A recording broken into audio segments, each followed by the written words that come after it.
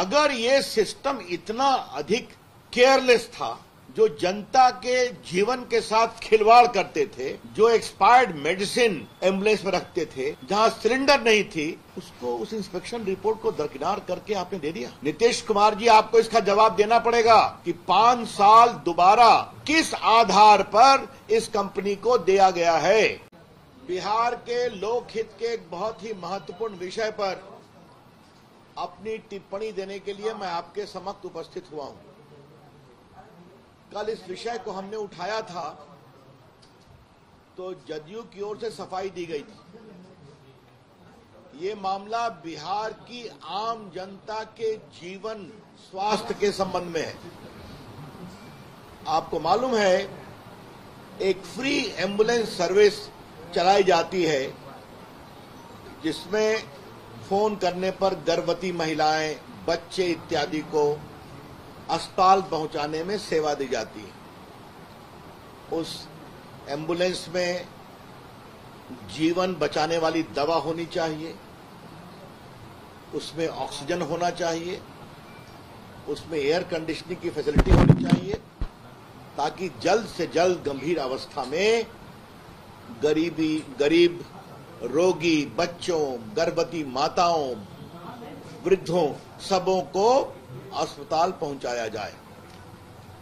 एक कंपनी है पशुपति डिस्ट्रीब्यूटर का करके, private limited, Pashupati Nath distributor private limited. ये जदयू के एमपी हैं, माननीय जहानाबाद के एमपी उनके बेटे की कंपनी है। इसको पहले ये पाँच साल के लिए मिला था। इस बार दोबारा पाँच साल दे दिया गया। सभी नियम प्रक्रियाओं की अवहेलना कर करके और तीन साल तीसरी बार करने का भी उसमें ऑप्शन पहली बार लगा दिया गया।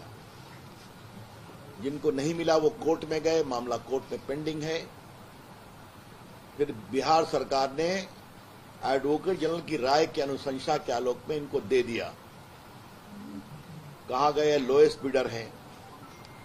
जहाँ तक हमारी जानकारी मिली है कि पूरे आवश्यकताओं को शिथिल किया गया, आपके पास इतना कॉल सेंटर होना चाहिए, इतना एंबुलेंस चलाने का अनुभव होना चाहिए। दिल्ली के अखबार इंडियन एक्सप्रेस ने इस पर बहुत बड़ी तहकीकात की है। और आज दूसरी जो खबर आई है, वो और चौंकाने वाली है और बहुत चिंताजनक है। बिहार सरकार की स्वास्थ्य सेवाओं के द्वारा कोविड काल में जदयू के एमपी के बेटे के इस एंबुलेंस चलाने वाली कंपनी की ऑडिट की गई। और ऑडिट में पाया गया कि एक्सपायर्ड मेडिसिन थी एंबुलेंस में। समझ गए आप? एंबुलेंस में एक्सपायर्ड मेडिसिन पाई गई। और ऑक्सीजन सिलेंडर भी काम नहीं कर रहा था। और कई बार तो आपके एसी भी नहीं काम कर रहा था। और ये सब कोर्ट किए जो मैं पढ़ने जा रहा हूँ, वो कोरोना काल में है, जिस समय एंबुलेंस की सबसे अधिक आवश्यकता थी। और जो नोडल पटना में सेंटर एनएमसीएच बनाया गया था, आपको याद होगा, कोविड का, उनके द्वारा भी एक गंभीर आपत्ति प्रकट की गई है।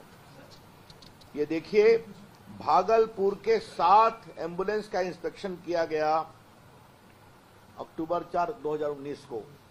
इसमें मुंगेर, भागलपुर में एक्सपायर्ड मेडिसिन माइक्रो ड्रिप्स ये सब एंबुलेंस में पाया गया। कोई ऑक्सीजन सिलेंडर नहीं था। मैं खाली ऑडिट रिपोर्ट से पढ़ रहा हूँ जो इसमें कोटेड है। 13 फरवरी 2020 को सात एंबुलेंस को वैशाली मुजफ्फरपुर में इंस्पेक्ट किया गया। इसमें एयर कंडीशन नहीं था एक्सपायर्ड मेडिसिन प्राप्त किया गया। फरवरी 24 2020 को नालंदा, नवादा में भी एक्सपायर्ड मेडिसिन पाया गया और जो बाकी ड्रग्स वगैरह हैं वो भी नहीं रखे गए थे। फरवरी 24 2020 को नाइन एंबुलेंस को इंस्पेक्ट किया गया। कहाँ कहाँ? सुपौल, समस्तीपुर, दरभंगा में एयर कंडीशन काम नहीं कर रहा था और मिनिमम ड्रग्स जीवन के लिए नहीं था। और जुलाई 6 2020 को 14 एंबुलेंस इंस्पेक्ट किया गया मुजफ्फरपुर, समस्तीपुर, सुपौल में। और यहाँ पर ऑडिट ने पाया कि एक्सपायर्ड मेडिसिन एंबुलेंस में रखा हुआ है। और इसी प्रकार से आपके दरभंगा अरवल, भोजपुर, बक्सर का पाँच एंबुलेंस है और ग्यारह, जहानाबाद का ग्यारह एंबुलेंस है। वहाँ भी यही हाल है कि non functional blood pressure, empty cylinder, expired medicine. तो जो एमपी साहब के बेटा ये चलाते हैं, उनके पिता की कंस्टिट्यूंसी जहानाबाद है। वहाँ के भी एंबुलेंस में एक्सपायर्ड मेडिसिन था और ऑक्सीजन सिलेंडर नहीं था। और जो state health society of Bihar है, जो मॉनिटर करती है डायल 102 के एंबुलेंस को, उसने पाया कि नालंदा मेडिकल कॉलेज का जो पाँच एंबुलेंस था डेडिकेटेड कोविड में, उसमें भी वही हाल था, पूरी गड़बड़ी थी, बाकी थी। अब हम एक सवाल करना चाहते हैं। इसको क्यों दिया गया? क्यों दिया गया? इसीलिए कि जो डिस्ट्रीब्यूटर कंपनी है, पशुपतिनाथ, वो जदयू के एमपी के बेटे की है। क्या ये ऑडिट रिपोर्ट बिहार सरकार के पास थी या नहीं थी? अभी मैं बिडर वगैरह में जा ही नहीं रहा हूँ। अगर ये सिस्टम इतना अधिक केयरलेस था जो जनता के जीवन के साथ खिलवाड़ करते थे, जो एक्सपायर्ड मेडिसिन एंबुलेंस में रखते थे, जहाँ सिलेंडर नहीं थी, उसको, उस इंस्पेक्शन रिपोर्ट को दरकिनार करके आपने दे दिया।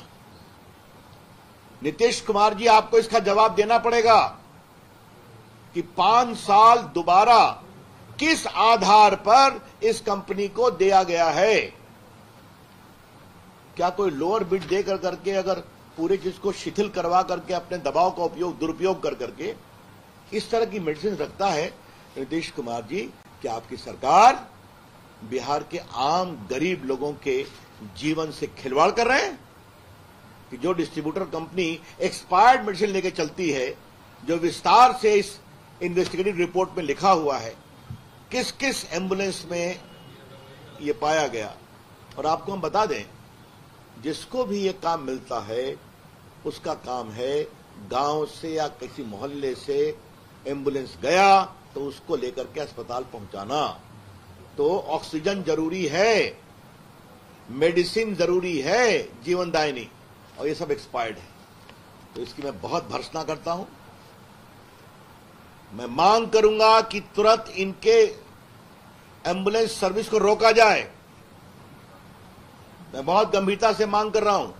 बिहार सरकार के द्वारा बिहार की गरीब जनता के जीवन के साथ, सुरक्षा के साथ जो खिलवाड़ किया गया है तो मैं मांग करूँगा कि अगर थोड़ी भी लोक लाज है तो तुरंत में इसको रोका जाए और इसके पूरे मामले की जाँच कराई जाए।